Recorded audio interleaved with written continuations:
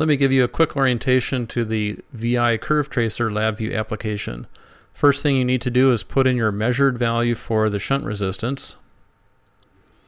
And at this point you can vary the applied voltage to the combination of the shunt resistance and your device of interest.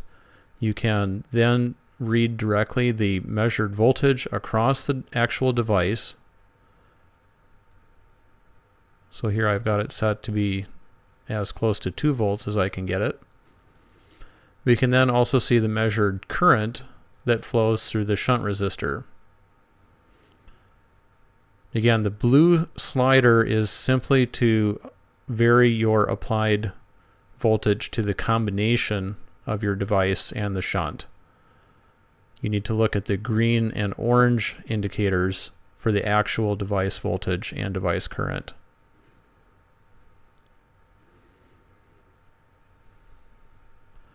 You can also dial up a specific value for applied voltage.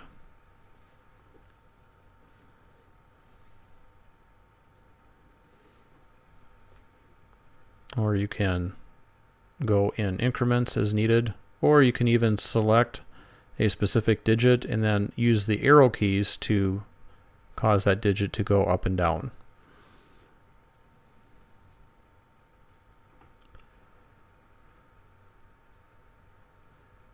To get a plot instead of individual points now, enable persistence and then as you vary this applied voltage, you can trace out the voltage current characteristic.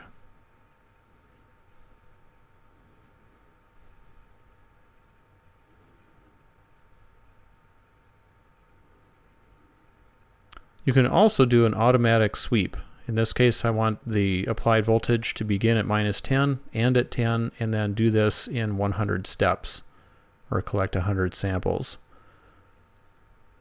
So you'll notice that the applied voltage slider is being operated automatically, and that gives you a very nice way to trace out the voltage current characteristic.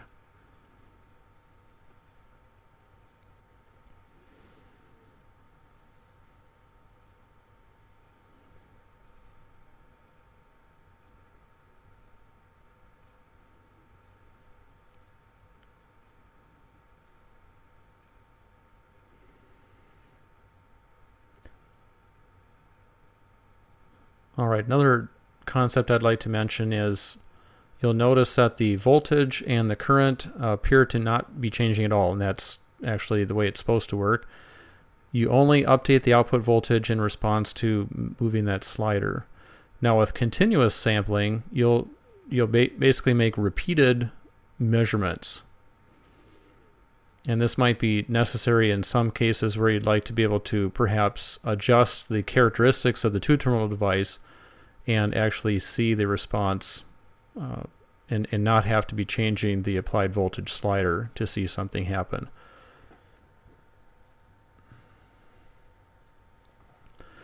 Now here I'd like to point out that sometimes your uh, sample points might end up only being in a certain sub-range. So in this case, as I sweep my applied input voltage, I'm only getting something between about minus 4 volts up to positive 5 volts. So it's very easy to change the range over which the plot window does its thing.